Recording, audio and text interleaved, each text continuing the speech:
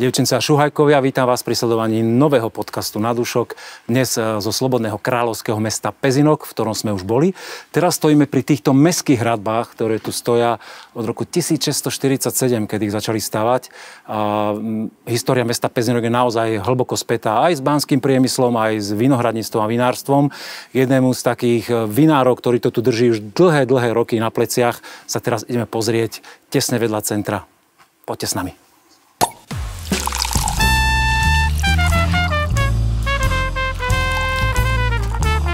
Na dúšok s Petkom. Sme na Hrnčiarskej ulici v Pezinku, ktorá je paralelná s centrom. Logo hovorí víno Rajnic. Dvere sú potvorené. No teda páni, v takéto silnej zostave ste sa nachystali. Ahoj Peter. Pekne vítam. Ferko, ahoj. Zdravím ťa. Takto ste sa na mňa dohodli a ešte ste sa aj omedailovali rytieri vína. Tak aspoň volačím. Ja tento priestor poznám e, z vinárskych akcií, že ty tu robíš degustácie, tak nám predstav Peter Rajnic. Kto si, tak- čo si a čo tu robí? Ja len krátkosti by som povedal, je to malé e, rodinné vinárstvo, e, ktoré v podstate ja som začal už v 72. roku, ako som prišiel do Pezinku, e, robiť prvé víno, pretože 50 rokov. 50 rokov. Wow. E, takže, ale samozrejme, že víno aj predtým ešte, ale tak už e, akože trošku odborne, to bolo s tým, že som prišiel do toho pezinku ako drevár, ale drevo je veľmi späté spolu e, s vínom a teda keďže vyrábam aj nejaké výrobky a tie tvoria piliny, tak som si povedal, no čím asi tak vínom spláchnuť. Tak takto sme začali, no a samozrejme, že robil som to na muškáte, na švermovej tam, kde som mal rodinný dom. Najprv som si postavil pivnicu, za- vzadu som mal záhradu, ktoré bol veľmi zelený a dole e, sme robili hneď vínko, ešte tam nebolo nič, ale vínko tam už bolo len záhrada. No a postupne teda, ako sa situácia menila, tak to je e, rodinný dom, starý vinársky dom, kde e, môj syn a nevesta to ako zdedili a ja som sa tu akože nasťahoval, keďže z Bratislavy, kde som mal svoju rezidenciu, som sa musel presťahovať do Pezinku. No a tu som začal pokračovať s výrobou e, vína, tak trošku už profesné. Priateľ z Talianska mi doniesol súdy s plávajúcim vrchnákom a dole v pivnici, teraz už to nie je možno vidieť, lebo je všetko odtiaľ mm odstahované, som začal tvoriť e, e, takéto už profesnejšie vínka. Ja môžem sa spýtať te- te- technickú otázku a to vínko si na čo nachystal? Jaj. Lebo oteplie zatiaľ medzi tým a Tak, Prepač, pekne vítam. pekne rozprávaš, dobre? hej, hej, pekne, Pútavo. ví- pekne vás vítam. A teda e, na privítanie e, s- vám ponúknem Silvester 21. Je to e, muška e, Miller Turgau, e, je to zo Šintavy, je to jednoduché e, vínko, ktoré je nasýtené, teda je to, je to frizanté. Okay. Prečo si ho nazval Silvester, keď to je Miller? No, Silvester e, bol konec roka. A teda bolo to ponúknuté ako ku koncu roku, ako Silvester. Aha, E, Samozrejme, šumie že víno na oslavu. na oslavu, mm-hmm. takže e, ostalo to zo pár fliaž, tak som to preto takto dal, ale máme okay. etiketu e, aj muška žltý s Millerom Turgau. Tak nech sa páči, to- pekne vítam. Teda po dlhom úvode slovnom. Hej, áno, na zdravie. Na zdravie. No, A kľudne pokračuj, pohode. No ja lebo som- ja som pil doteraz. Ja som Ale si nie. dovolil do toho vstúpiť, aby, Eh, aby sme na to nezabudli páči, na tú jasné, nech sa páči, no, Ale kľudne to- rozprávať ďalej, lebo... No tak sme pokračovali tu na toto všetko, čo tu je vytvorené. E, tu bola stolárska dielna, dole som vytváral ako teda pekné vínka a z tej stolárskej dielny sa stvorilo všetko, čo tu vidíte, aj tie dvere, komplet všetko, čo tu je. To je moje dielo, aj tie stoly. No ale čo sa stalo? Počkaj, ja, prepáč, zase vstúpim. Aj tá socha, to si si ty vyrezal? Tu nie. Tá socha je tu pre niečo iné, lebo uh, deti ako také sa moc nestretávame, len teda keď sa chceme pobiť. No a táto socha je tu preto, že keď, keď si nemám s kým vypiť, tak prídem a štrngne si s ním. Dal mi, to urobiť, dal mi to urobiť môj syn narodený nám, aby som nebol sám. No.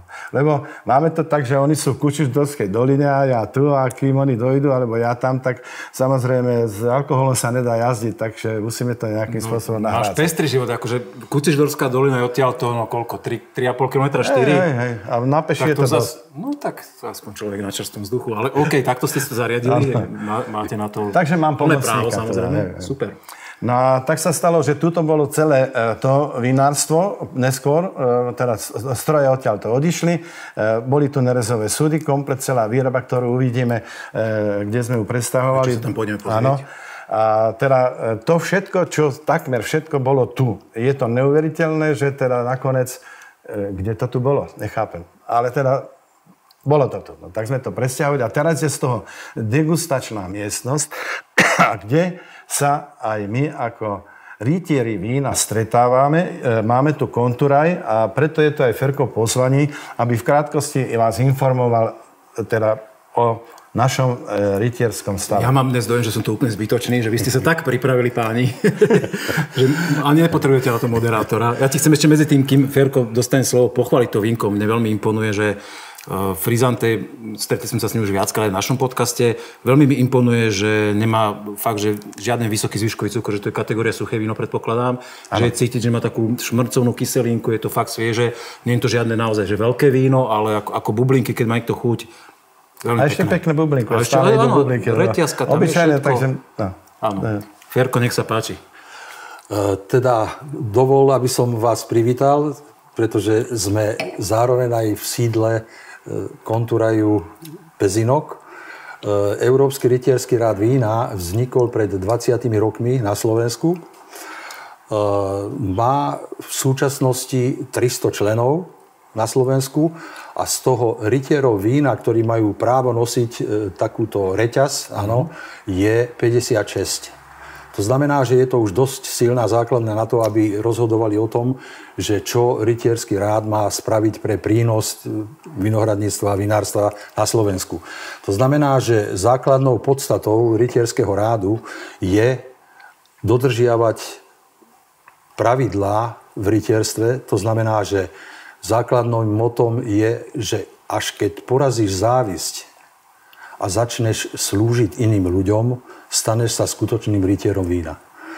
Táto myšlienka je veľmi ako roz, v našom ráde veľmi rozšírená a na, naši rytieri vína, ktorí sa dostanú ako členmi klubu rytierov vína, e, pri svojom obrade dostávajú vlastný sabrážny meč, ano, ktorý má názov Nobles oblíž, to znamená vznešenosť zavezuje, správať sa, chovať sa a pôsobiť v rytierskom ráde na takej úrovni, aby si dôstojnosť vína presadil do spoločnosti, pretože fenomén vína je to, čo sprevádza túto spoločnosť s históriou. A pri všetkých najväčších zmluvách v histórii vždy bolo víno, kde podpisom a úpitím si pohára vína vznikali priateľstva, mierové zmluvy a všetky veci, ktoré majú spoločné s týmto nápojom. Čiže z tohoto hľadiska si veľmi vážime, že sme členmi takejto veľkej rodiny rytierov vína, pretože v súčasnosti Ordo Equestris Vini Europe, čo je oficiálny názov tohoto rytierského rádu, je so sídlom v Weissenštate, je pokračovaním Habsburskej dynastie, ano, a najväčším protektorom tohoto rádu je Karl Habsburg, súčasný protektor Ordo Equestris Vini Europe. Pre vzdelávanie a v celú tú záležitosť v tomto sme založili Slovenskú vinárskú akadémiu.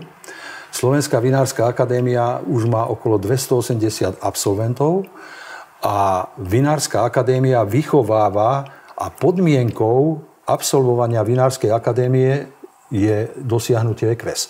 To znamená, že u nás sa nemôže rytier vína stať ten, ktorý nemá absolvovanú vinárskú akadémiu a to z toho dôvodu, že žiarlivosť vinárov na Slovensku bola taká, že ako môže byť právnik, lekár alebo iná profesia e, rytierom vína, keď nemá potrebné vzdelanie. Čiže z tohoto titulu máme v súčasnosti všetkých našich ekvesov, ktorí sú člen, e, absolventi Slovenskej vinárskej akadémie. Vidím, že to máte do detailov premyslené aj ako rád funguje, ako funguje vzdelávanie. Veľmi vám v tomto fandím, lebo sledujem vaše aktivity dlho. A naozaj dostali sme hlboký historický exkurs teraz, aj, aj vyčerpávajúce informácie e, teda aj o vašom rytierskom ráde. Ale ja by som sa rád išiel pozrieť aj do tej výroby a kde to, kde to, kde to víno sa kde to tvorí, kde to vzniká a kde to kvasí a kde to, kde to funguje aby to bolo potom takto Ja krásne ešte k tomu by pohári. som toľko dodal, že aj tu prebieha e, ako Vinárska akadémia v týchto priestoroch. Áno. Ja to tu cítim vo vzduchu, normálne som teraz taký plný vedomostí. Vzdeláva sa. Dobre. Páni, som vzdelanejší ako som, predtým, ako som sem vstúpil. Na zdravie. Posuňme sa ďalej. Ešte by som pri tejto príležitosti povedal základný princíp, e, kedy degustujeme víno a máme Horáciové slova, to je tzv. COS, ktoré už používal Matej Bell a to je základná filozofia, to je hodnotenie vína farby, kolor. Vôňou si pripomíname odor. Chuť vína si pripomíname je sapor, COS. Áno.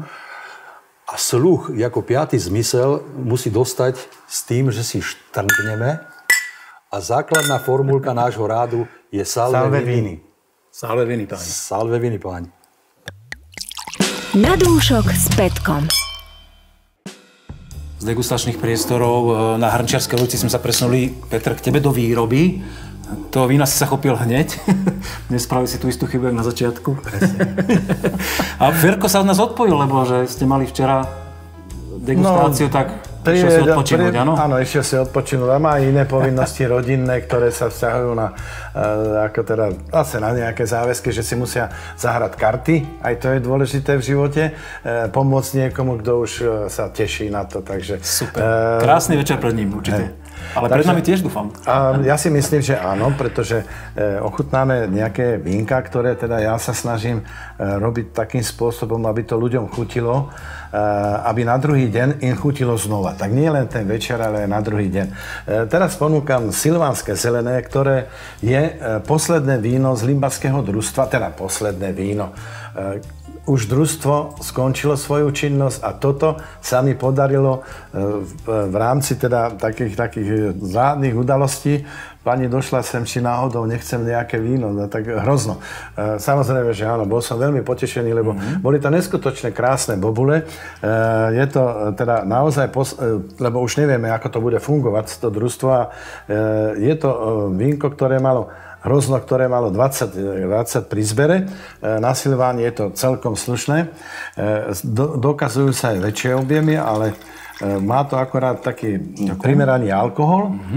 No a teraz ho okoštujeme, čo nám vlastne to vínko hovorí. Ročník 2020, 2020, áno. Ja si dobre pamätám, že ty si rok predtým, to bola Nie. dva roky, 18 roky, 18 si vyhral u nás v Limbachu šampi, šampiona, si to vyfúkol Limbašanom, to Limbašanom. s týmto Silvánom. Tak doteraz sa nám nahnevajú, ale nie tak akože veľmi radi prídu a prekostujú so mnou vína. Uh, to bolo tak, ja som nechcel to víno tam dať, ale ma donútili. Že prečo nie? Že máš, daj, tak som dal. No, a, a, a vytrel si, vytrel si kocúr, ale to vínko bolo krásne, pamätám si veľmi dobre, porovnáme s týmto ročníkom. Veľmi pekná vo voni, taká nazretosť je to tam. Krásne vyzreté vínko, uh, kyselinky, je tam trošku zbytkového cukru, čo pasuje Silvánu. Ja teda sa snažím robiť eh, vína s, nízkym, s nižším alkoholom, pardon.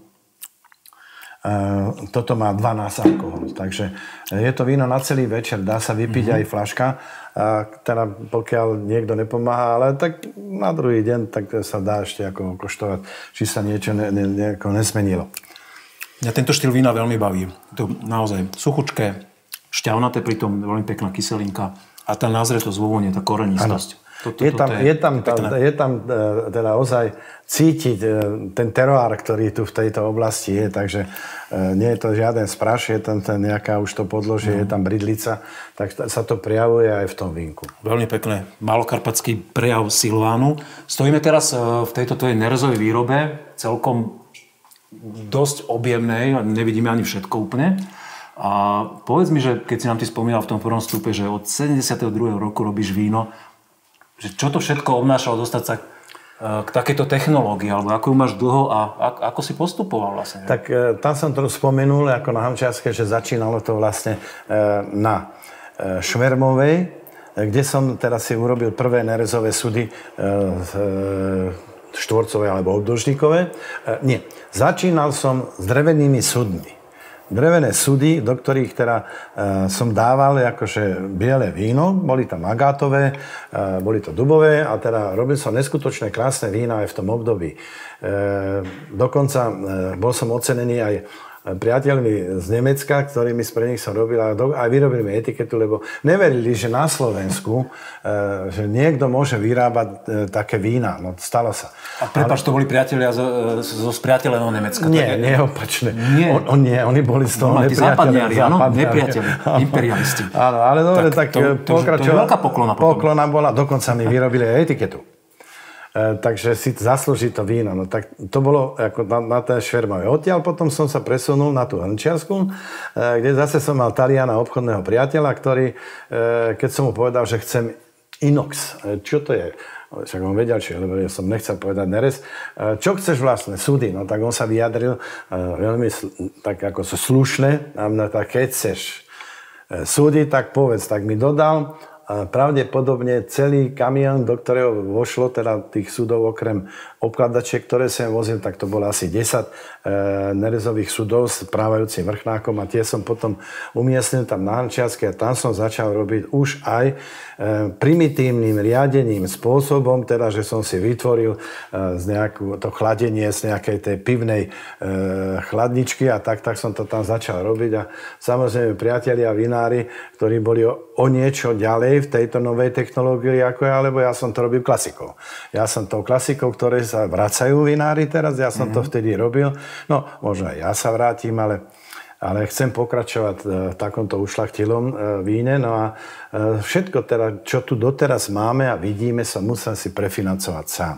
Nikto mi nedal ani fenik, ani korunu, takže ja som vtedy, čo som zarábal a čo sa podarilo zarobiť pri E, obchode s drevom investoval do jednotlivých týchto nerezových nádob. A, a, e, to, ja to nerobím ani podnes deň na e, to, že by to bol moje živobytie.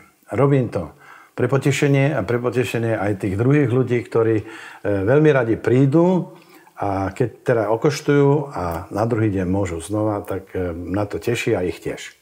To je, Takže, to ocenenie, tá medaila, ktorú áno, ti to je najväčšia medaila. To je najväčšia medaila. Aj moja mama to tak ocenovala, že ja to použijem aj na kolena, aj na pitie. tak to možno aj pardon, v lekárniach predávať. Toto. Uh, ona hovorila, že mali by to asi aj do lekárny dávať. No. Vrátim sa k tomu vínku, áno, kľudne rozprávať ďalej.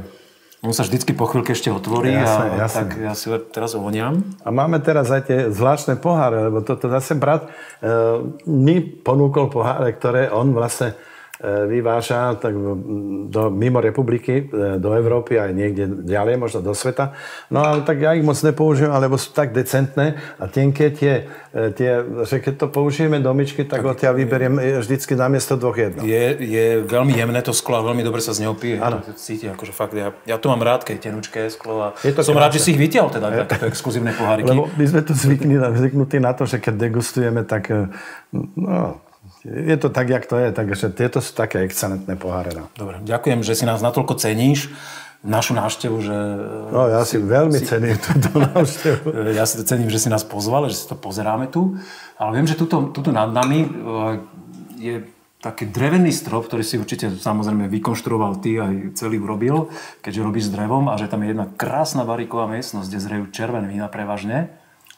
Áno, je to tak. Ja som teda... Mm, keď sme spomínali ten rytierský rád, dostal sa do sveta cez rytierský rád a, a teda keď sme boli v Španielsku, e, samozrejme Francúzsko bolo iné, tam som videl e, barikové sudy e, obrovských objemoch a teraz som si povedal, to sa nie je možné. No tak ak, ak je e, pasienky, ak sú veľké, ako sú, tak tam mali barikové sudy v takých objemoch a naskladané na, na, na, na poschodia. Na poschodia, hovorím.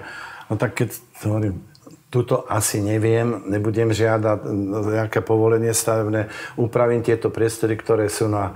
A kde dám súdi? No tak, keď mali Španieli, tak to uložené, tak som sa pokusil aj ja. A funguje to a je to dobre, lebo viem si teda uh, ustáliť teplotu a nejakú tú vlhkosť a tým pádom teda mám poriešené to, čo um, by som musel riešiť s pivnicou a veľmi nákladné. A môžeme sa tam nakúknúť? Samozrejme. Tak poďme hore. Na dúšok s Petkom. Tak sme o poschodí vyššie, ako bol priestor, v ktorom sme sa nachádzali doteraz, v tejto barikovej miestnosti. Je to asi trošku menej súdov, jak si spomínal, že si videl v tom Španielsku, ale napriek tomu je ich tu dosť a zrejú tu určite krásne vína. Pozeráme, čo je tu po nich popísané. Merlot, Cabernet Franc, Dunaj, Frankovka modrá. Radosť vinárči teda. Ja by som pokoštoval všeličo, ale nemáme tu až, až taký veľký priestor. Ale asi si nájdeme. E, bude treba sa, aj bez toho, že by sme to ako dávali do verejnosti, ale môžeme to prekoštovať. A ja som nesmierne šťastný, že teda tento rok sa mi podarilo 6 odrôd dostať do tejto pivničky, e, pretože minulý rok to nes, nešlo. No. Tak e, vína, e, rozienka neboli na tej úrovni a teraz sa mi to podarilo. Takže som strašne rád, že tu mám, ako si videl, Merlo 21, Cabernet Franc, po ktorom som túžil.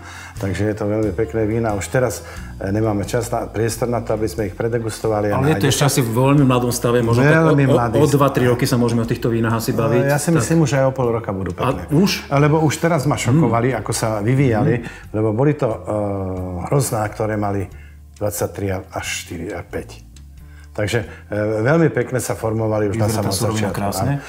Ale Dobre, podľa mňa ale... aj do tohto vínka, čo si prichystal, tie tri takže, pinoty si asi mal také kvalitné áno, Takže e, tieto tri pinoty nie sú mladé, je to, je to e, dvacina, 19 a dvacina. Takže e, ja mám na. Prepač, si zmiešal viac ročníkov dokopy teraz, áno? Víne? to sú d- dva ročníky. To je zaujímavé, lebo to, to málo ktorý vinár To sú dva ročníky. experimentov. Hej, takže je tam jedna 19, to je Chardonnay, mm-hmm. je tam dvacina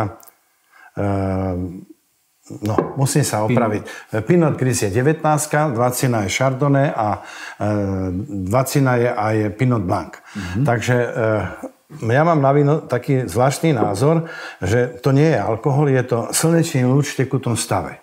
Neviem, kde som sa k tomu ako dopracoval, ale je to moja filozofia. A veľmi pekný bonmot, súhlasím. A toto sú tri slnečné lúče v tekutom stave, tak, tak ideme ho okoštovať. To, to sa takže, veľmi, veľmi teším takže, to, aké to bude vyzerať. A teda Pinot Gris, ja, samozrejme, že ten som sa ne, neponáhla, že ho okay. naplašujem, tak som ho nechal v nerezovom súde vyzrievať.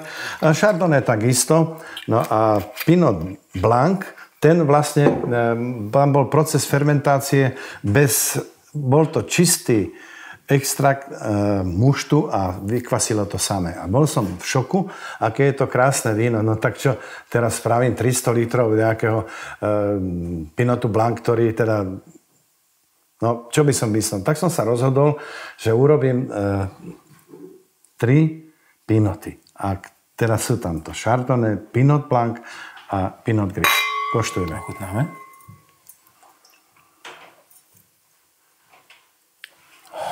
Mňa prekvapila taká až dokvetová vôňa, že, ja som, že no, u tých nazretých pinotov by som čakal skôr viac To dáva ten Pinot Blanc. A ten Blanc tomu dal úplne, že... Úplne dal tú sviežosť. Úplne, áno, áno. Uh, Pinot Blanc je u nás viac menej tak nie celkom docenené uh, biele víno. Tak musím povedať toľko, že tento Pinot Blanc je z Dechtic, uh, z mojej teda oblasti, odkiaľ ja pochádzam, ja z Kátloviec. Je to na vápencovej, vápencovom podloží. Pinot Gris je, Pinot Gris je od Šimákovcov z Dubníka a aj Šardonnay. Čiže Južnoslovenská. Južnoslovenská víno. A do toho som zamiešal to... Tak toto je naozaj slo, sloven, slovenské víno, akože cez pol Slovenska, hrozno. Veľmi extraktívne v chuti. A v dochuti mi vylezie taká, okrem šťavnatosti, taká zvlášť, zvláštny spôsob korenistosti, ktorá je taká... E, ako keď si človek dá korenie a zostane mu, zostane mu taký, taký vnem, že na tom podnebí, veľmi intenzívny. Neviem ho pomenovať teraz v tejto chvíli. Ani ja neviem ho pomenovať, pretože ja teda mám rád korenené a tak... tak potom sa nečudujem, že takéto korenené vínko, že máš rád.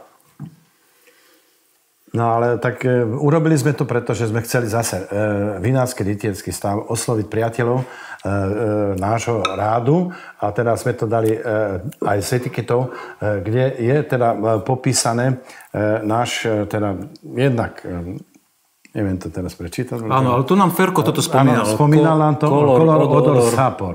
No a ešte je tam aj umami, e, to je ten posledný v nem, ktorý vnímame a som strašne rád, že sa nám podarilo robiť takéto krásne víno a ešte mám šancu zopakovať e, ďalšiu šaržu. Držíme ti palce, vínko je veľmi pekné. Ja by som sa ťa rád opýtal na e, zapojenie rodiny vlastne do vašej firmy, lebo viem teda, že uh, ty máš, si spomínal tú firmu, ktorá robí s drevom a, a tam je tvoj syn priamo, ktorý v tom funguje. Viem, že vnuk funguje tu, teba už sa zauča vo vinárstve. Tvoja dcéra fotografuje pre vinárstvo. Krásny projekt toto. Áno, je to neskutočne krásny projekt, len synovia sa ako nepripojili. No. Oni sa pripájajú, keď treba vypiť niečo, že oslaviť.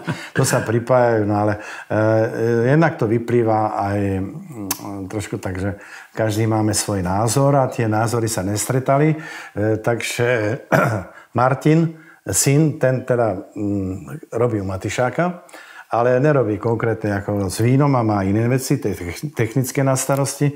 No Peter ten robí stále s drevom, e, teda pomáha v tom obchode, ktoré sa ja rozbehol drevena a Jakub e, je jediný možný, ktorý môže so mnou robiť, lebo ja som dosť aj taký akože e, impulzívny a teda niektorí sa... tak Margo do toho asi nevydrží so mnou. Dobre, snaží sa. E, to si, takže... prepáč, veľmi si cením, že, že to takto hovoríš verejne, že Držíš tie opraty? Áno.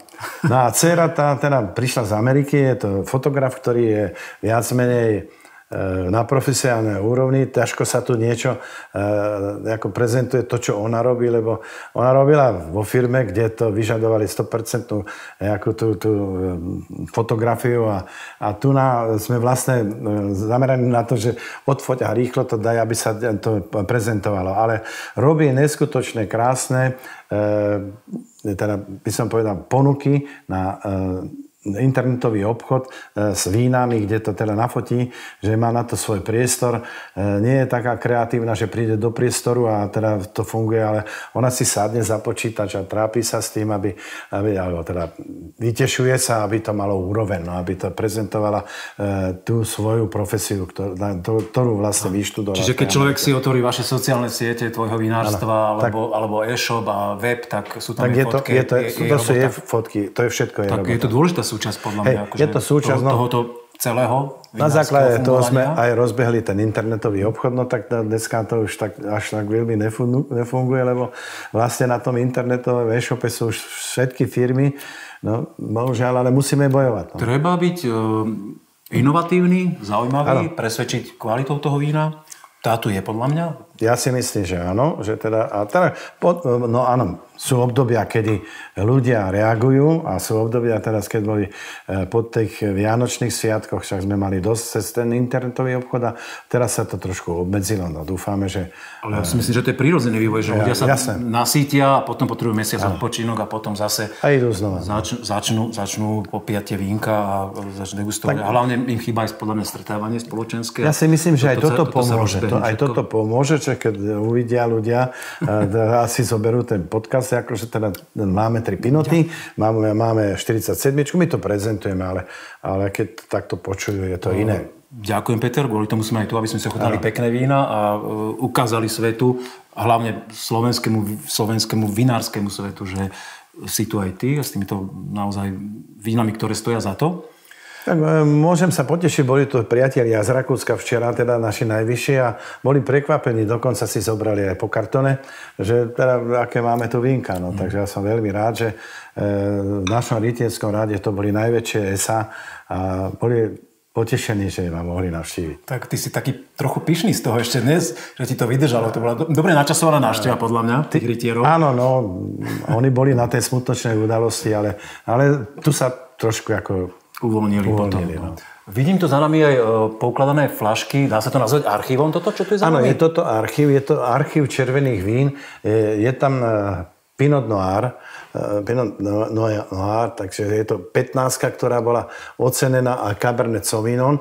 Eh, Cabernet mm. Sauvignon, dokonca tam som sa stal víťazom Československej ligy 2006. Eh, to bolo prvé také vysoko ocenené víno, ale toto je 15 a tam je, ktoré bolo ocenené v Paríži zlatou medailou mm. a Pinot Noir bol ocenený zlatou medailou vo Švajčiarsku. A musím povedať, že bola to taká smiešná, akože ponuka, no, lebo ja som sa rozhodol, že ten Pinot Noir dám na súťaž. Lenže um, bolo treba um, odovzdať 4 vzorky. No a ja som zobral 4, 4 flaše ako vzorku. Ja som 4 flaše zobral a s Ferkom sme sa stretli s Cezákom, ktorým sme hovorili, že okoštujeme to víno, či je to hodné dať na súťaž. A tie, tú jednu flašku sme vypili. A tri flašky som zobral a potom do Chorvátska a z Chorvátska som volal priateľke Editke Durčovej, ktorá prezentuje slovenské vína po celom svete. A voláme Editka, ja to víno nedám do tej súťaže, pretože e, Cverkou sme rozhodli, že je, my sme ho hodnotili, že je dobré a tri flašky mám v Chorvátsku.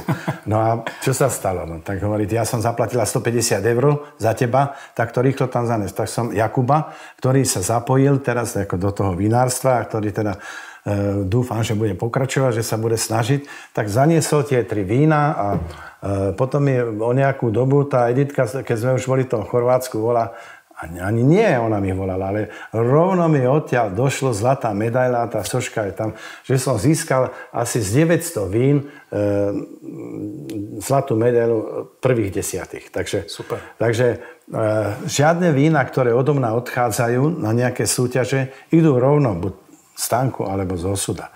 Žiadna príprava, všetko je prirodzené.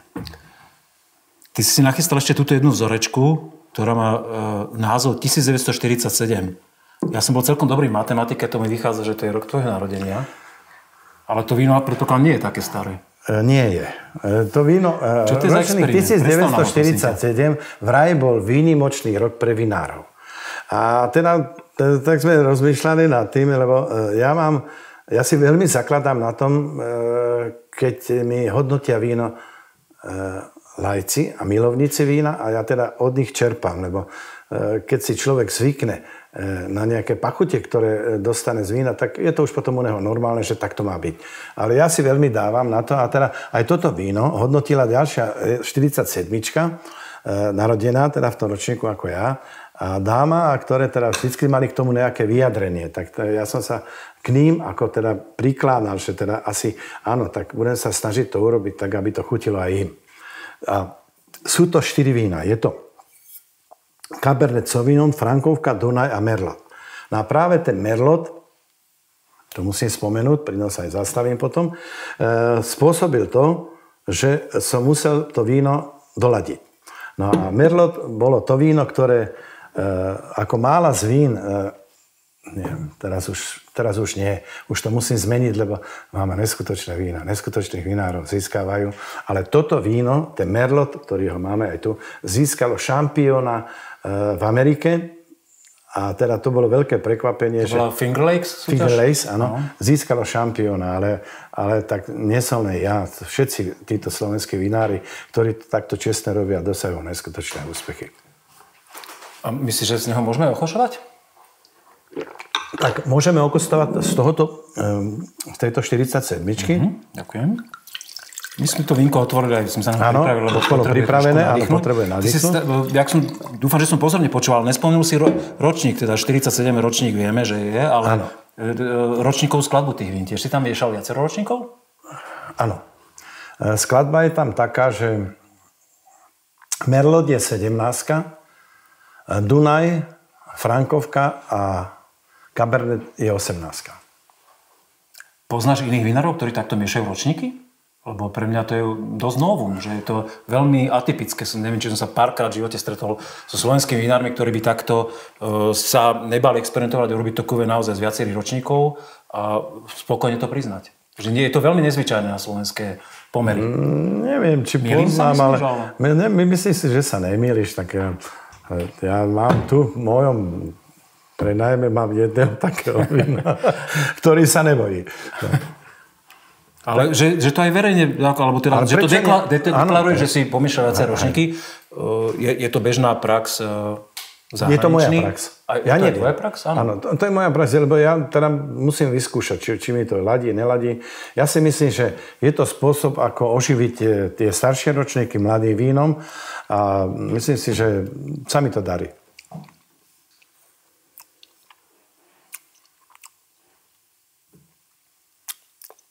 Tak toto je... Elegantné Toto je niečo, toto je elegancia. Elegantné víno. Elegancia na prvú. Veľmi hlboká ovocnosť, taká úplne extraktívne. A práve to urobil ten dochuť. Merlot, to, tento tam vyťahol hore. No. Je tam, ja tam cítim ešte aj výrazný dotyk e, zrenia v bariku, že ešte to víno podľa mňa ešte má čas ešte aj nazrieť, že ešte bude... No, Sa to drevo toto už nie, uprace? toto je, Nie to, už? nie, už nie, lebo to, Myslíš? toto, toto už je vo flaši. No ale aj pri flašovej zrlosti. No on, to, to je, to, to drevo máme bude 4-5 trošku rokov, ktoré No, sa áno, ako... áno, že ešte stále je. Má kam rásť to víno. Je, je, potenciál má toto vínko, je, lebo sú tam tie štyri krásne druhy vína a ten potenciál má. Krásne. Červené bobul, také tmavé bobulové ovocie. Taninová štruktúra úplne obrovská, ako mohutná. Je tam Krásne plné ústa toho. No Peter, teda po takéto vzorke mám pre teba jeden smelý návrh. Či by si prijal pozvanie na to predegustovať si vína od nejakých tvojich kamarátov vinárskych slovenských, e, o ktorých nebudeme vedieť nič, čiže slepá degustácia a povedať si o nich niečo. Samozrejme. Príjmaš túto výzvu? Príjma výzvu. Poďme na to.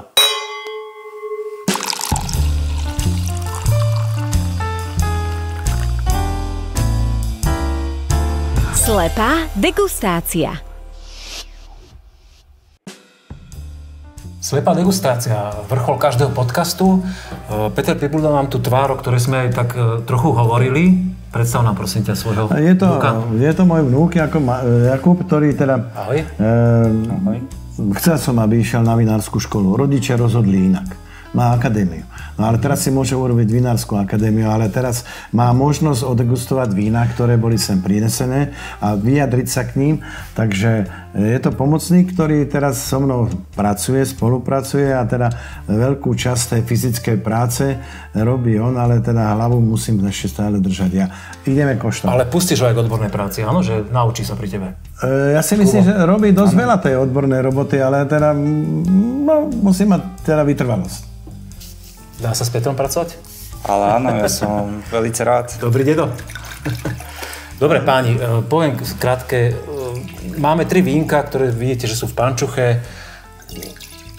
Povedzte si k ním čokoľvek, máte chuť, e, keď chcete ich hodnotiť ako na súťaži, môžete kľudne dávať body, alebo zhodnotiť senzoriku, alebo ako vám to chutí, čokoľvek k ním povedať. Sú to vína od vašich kolegov slovenských vinárskych, ktorí sa snažili dať to najlepšie k nám do podcastu, tak uh, poďme na to. Ja by som navrhoval teda, že my sme dosť veľa vecí rozprávali, hlavne ty, Nech si ako že by povie. Kubo mohol prevziať iniciatívu. A idem na to. No tak prezentuj sa. Nedaj Bože, keď si trúfate, že ešte povedať, že odrodu napríklad Odrodu hľadať ročník. ale budem no. hovoriť. no. Vo voni je čisté, pekné. Vyzerá to, že to bude vínko podľa mňa s vyšším obsahom alkoholu. Aspoň podľa tej vôni. Ale krásne a aromatické to víno. Ešte som nekoštoval. Ja už som aj okoštoval a súhlasím s tebou. Za mňa veľmi pekné šťavnaté, Plnosť. plné. Aj ten alkohol mi tam sedí, že tam je vyšší. Môžem povedať, že veľmi pekne je tam tá aromatika, je tá, taká ovocná. A už aj jemne nazretá, ale pritom stále primárne ovocná. Áno. A má dlhú dochuť. Pekne plné. Je tam trošku zbytkového cukru, Ale stále kategórii suché, podľa mňa. suché víno, suché. ale je tam tak 4 až 5 gramov zbytkového cukru, je to veľmi, veľmi pekné, zladené sú kyseliny e, s chuťou. No. Ťažko sa to hodnotí, lebo ne, necítim tam tú chlebovinu, ako ide mi to do pinotu. Do pinotových odrod. No. Teraz nechcem byť múdry, ale chcel som to povedať, ale bál som sa. Dobre, však. Ja by som páni kľudne povedal, že aj, aj Veltlin alebo aj Vlašak by mohol takto nazrieť. Kľudne. Ale nie, nie je to úplne kategória, že musíme to zhodnotiť za každú cenu. Ešte môžeme prípade- E, Jasné, môžeme sa k nemu vrátiť a v každom prípade fakt vzorka taká, že by som rozmýšľal nad zlatom na súťaži za mňa. Mne sa to veľmi páči, to víno. Že Ja plné. takisto. Úplne. Veľmi pekné víno. Vzorka číslo 2. Ej, á, čo to tu máme? Tam budú bublinky. Á, Bublinky. Tak to ma zaskočilo teraz trošku.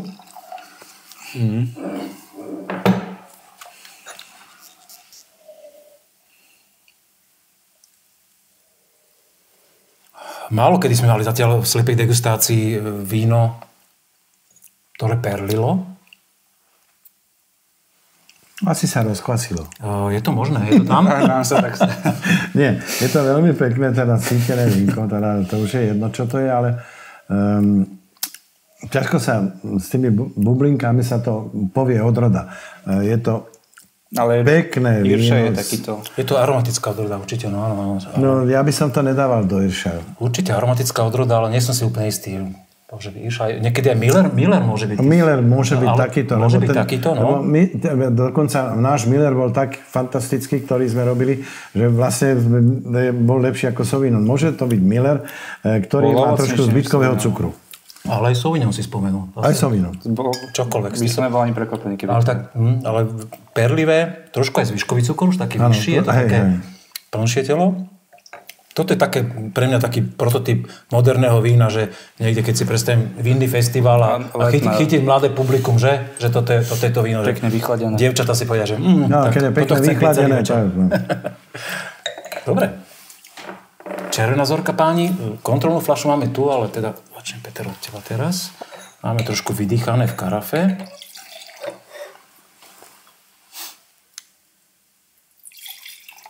Nech sa páči.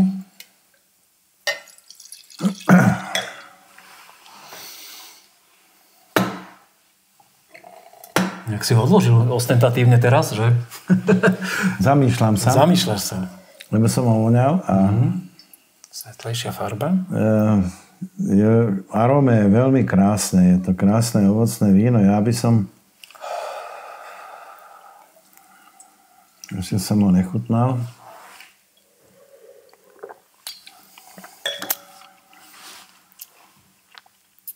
Aj, aj čerešne, aj maliny. Odrod je ťažko To je ovocné ale, víno. ale je krásne ovocné taniny, víno. Ale tak sú rozna, dúfajme, že urobené, ne? Že sa teraz zláknú ľudia, čo pozerajú, počúvajú, že ovocné víno, že tu nejaký rybezláčik chutnáme. Není to rybeslák, ale teda rybezles môžu tam byť ako v arome. A je to veľmi pekné víno. Tak, tá farba um, ma nevie na, na, nahodiť, nakopnúť, že do odrody. Ale Keď už hádame, hádame odrody, tak ja by som možno, to je taký kabernet. ja by Keď som išiel do. Frankovky. Ovocného štýlu. Ja by som podľa farby hádal aj Pinot Noir, ale, ale v chuti to nie je úplne. Není to v chuti Pinot Noir, vo farbe by mohol byť, ale Ale neskutočná šťavnatosť a plnosť ovocnatého vína. zlatá medaila, krásne, Krásne, víno. krásne víno. Krásne víno, takže Ešte tu mám, tu mám, že čo, či mi to pripomína, ale Franko ku mne nie je teda napríklad. Franko je taká iná. E, to sú odrody, ktoré možno my asi nerobíme, že teda e, je tam nejaká tá iná odroda, ale e, je to veľmi krásne víno. Toto je elegantné, Krásne krásne, víno. aj šťavnaté, aj elegantné. neskutočné. Jaj, pán, ja sa úplne trasím na to, že by sme si pozreli. Chcete sa ešte vrátiť tým vzorkám a nejak to prehodnotiť, aj, alebo Nie, typovať viac, alebo nie. pozrieme na to. E, sú to, všetky tri vína sú fantastické. Boli bez chyb. Bez chyb. Bez chyby, ve- veľmi pesimistické vyjadrenie podľa mňa. Boli krásne. Krásne vína, nie bez chyb, krásne. No páni. Hm. Víno z dvora Hetera 2020, ktoré pre tento projekt plní Vince Weinery, Rišo Todu, ktorého sme boli tiež s podcastom už. Tak toto ma zaskočilo, lebo Hetera by mala byť aromatickejšia trošku, je by toto? Ale priznám sa, že Heteru som pil asi trikrát v živote. Ja čiže- som ešte nepil. No, tak akože nie. Práve teraz, Petr. Teraz, to práve, práve teraz ja som mám pil, premiéru Ja teraz. s heterou nemám ja nejaké... dva, dvakrát, trikrát som sa s ňou stretol, takže Ale naozaj dobre. veľmi ťažko hádať, ale víno krásne. Krásne víno, krásne. Dobre. No, páni, vzorka číslo 2. Takže to máme tie bublinky. Sauvignon Sparkling 2020, bratia Bertovci. Takže v podstate frizante, ako sme u vás chutnali, No, tak- aromatickú Hej, hej, chodili hej, sme okolo. Hej, tak ja som eh, hovoril aj Sauvignon, ale tak ja by som Sauvignon nedal do, do cíteného. No. No, ty nie, ale... Ale Dali. A podarilo sa, nie? Podarilo sa Veľmi pekne. pekné. No. Veľmi pekné. A dokonca 20 A práve e, ten Sauvignon, ako tým, že ho nasítili, tak vydrží ešte aj 2 roky. No, to. Takže vlastne... A my sme tam tu už spomenuli, že to môže byť aj Sauvignon. Aj, aj Sauvignon, aj Miller, aj Iršaj tu lietal, no proste Irša nie. Irša som vylúčil, lebo Irša je e, agresívnejší v arome. Ale veľmi vydarené víno, naozaj také Áno, veľmi ľúbivé. pekné, veľmi pekné. No páni, Loci. tak toto je Dunaj, vinárstvo Loci z Limbachu. No krásny, no. 2019 ročník. Tak. A toto vínko sme mali v podcaste, aj som ho nedávno pil a nespoznal som ho. Ale v každom prípade fakt. Ale môžem povedať, že e, na, tom, na, ten, na tej flaške je najviac e, zaujímavá tá etiketa, ktorú si Loci nechal vytvoriť. Poznáš ju, áno? Áno. Páči sa ti? Páči. Doslovujete to. Tak to je super. Kvôli tomu to asi urobili, aby to zaujalo. On nám raz vysvetloval aj to logo, jak vzniklo. A Až, pekný až, až príbeh. nepáči sa mi to, ako má... E, ako ju má Vysoko? Každý má svoj štýl. svoj štýl. ale- E, My sme, sa, my sme sa o tej etikete bavili aj u nás v podcaste, keď sme u nich boli nedávno. Páni, ďakujem veľmi pekne za to, že sme dnes e, mohli vás naštíviť na dvoch miestach, že sme si spoznali tvoj príbeh, Peter, že sme spoznali teba, ktorý to budeš ťahať tie opraty, keď Peter ti ho dozdá a, a uzná za vhodné. Ešte mám sa čo učiť. Máš sa si dobre, to, je, to som rád. Ja vám na záver, páni, položím kratučké otázky, poprosím si také expresné odpovede a rozlučíme sa. Peter, vedel by si odhadnúť, koľko litrov vína si za tú svoju 50-ročnú kariéru vyrobil? Ja som myslel, že mi povieš vypil. Dobre, vyrobil a vypil. Dobre, to je... To pekný update to, Za otázky. tých 50 rokov. To, to, s týmto som v živote nepočítal, že budem musieť na takúto otázku odpovedať. Ale keď to zoberieme, že e, tak e, 50 rokov. Dajme 30 rokov e, po nejakých e, 15 tisíc litrov. Ročne. Matematika. No. 450, No, cez, cez pol milióna. pr- pol milióna. Cez pol milióna. No. Takže e, to, to, no ani nie, lebo niektorí vinári to vyrobia za rok. Áno, ale ty nie si taký veľký. Asi, Nie, ale ja to robím to naozaj pre potešenie e, a tak, no, tak je to tých pol milióna. Pol milióna. Úctihodné číslo. To ja dokonca života určite nestihnem A predegustovať. ja som nepovedal, že 50, 20 rokov. Lebo tých, tých, predtým, čo bolo, to bolo To boli menšie objemy. Menšie objemy. hej. Tak to ty si vieš odhadnúť. Hej.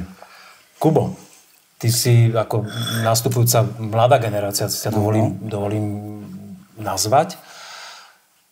Ako to vidíš ty so, so záujmom mladých ľudí v tvoj- tvojom veku, tvojich rovesníkov o víno? Vieš im ty za vinárstvo, vaše vinárstvo, o, tak nejak brnknúť na tú správnu strunu, že aby, aby ochutnali, alebo myslíš si, že stále u tejto generácie prevláda, že radšej volia rýchlejšiu cestu e, pri zábave a že to vínko je až na také druhej koleji? Ja to poviem všeobecne, ja som si už posledné 2-3 roky začal všímať celkovo mladších ľudí, čo chodí napríklad cez víkend iš von, sadnúť na terasu. Už ten tvrdý alkohol veľa ľudí nepije, ale Ja puci, som ho nechcem menovať priamo, ale dobre, bol No. si priamy. vieme o čo ide. Áno. Ale veľa ľudí už začalo, hlavne v týchto malokarpatských končinách, piť e, domáce vína, domácich vinárov. Čo sa týka, a keď si pozriete malokarpatskú cestu alebo takto, tak tá generácia sa strieda, tí starší už nechodia, už chodia mladšie generácie. A možno to musia dozrieť do toho veku, si myslím. A ja A som je, dozrel do toho. keď je ten vek, kedy dozrie človek?